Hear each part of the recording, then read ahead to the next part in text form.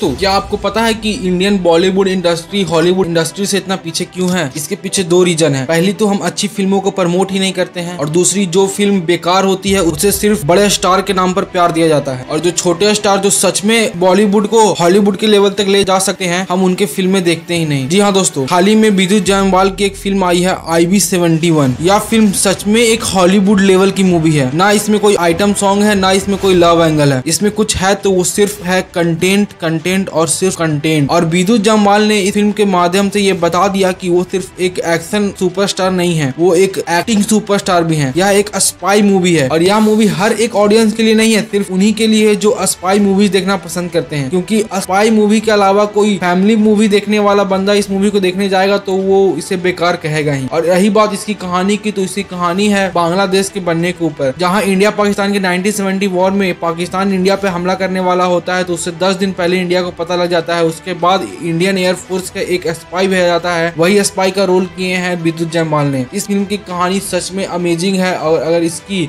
rating की बात की जाए तो मैं इसे दस में से दस रेटिंग देना पसंद करूंगा क्योंकि इसमें जो प्रेजेंस ऑफ माइंड दिखाया गया है वो सच में नेक्स्ट लेवल है कहीं कहीं पे ये मूवी थोड़ी बहुत हमें फेक लगेगी जब वो सामान को वापस लाने जाता है तो वहीं पे कहीं कहीं थोड़ा बहुत थोड़ा सा लगेगा पर इसमें आपको एक जरा भी बोर फील नहीं होगा और बात की जाए विद्युत जम्वाल की तो विद्युत जम्वाल ना सिर्फ एक एक्शन हीरो हैं बल्कि उन्होंने एक्टिंग के दम पे यह दिखा दिया है कि वो सच में इस बॉलीवुड इंडस्ट्री का एक बहुत ही बड़ा सुपरस्टार है और हमें ऐसी फिल्मों को प्रमोट भी करना चाहिए क्योंकि ऐसी ही फिल्में बॉलीवुड का नाम को वापस से जिंदा कर सकती है और हॉलीवुड के टक्कर तक लाकर पहुंचा सकती है पर ऑडियंस का गलती यह हो जाता है कि वो ऐसे फिल्मों को न देकर बेकार फिल्मों को जिसमें इंडिया पाकिस्तान से लव दिखाया जा रहा है कि इंडिया के एक स्पाई को पाकिस्तान के एक स्पाई से प्यार हो गया है ये कभी हो ही नहीं सकता तो हमें ऐसी फिल्मों को प्रमोट करना चाहिए जो रियलिटी बेस्ड हो जहाँ सही में फैक्चुअल बातें की जाए और फैक्चुअल मूवमेंट दिखाया जाए ना ही आउट ऑफ बॉक्स स्टंट दिखाया जा रहा है आउट ऑफ बॉक्स कंसेप्ट है उसका ऐसी फिल्में को जरूर प्रमोट करना चाहिए क्योंकि ऐसी फिल्में ही बॉलीवुड को नेक्स्ट लेवल तक लेकर जा सकती है और हॉलीवुड के टक्कर तक पहुंचा सकती है तो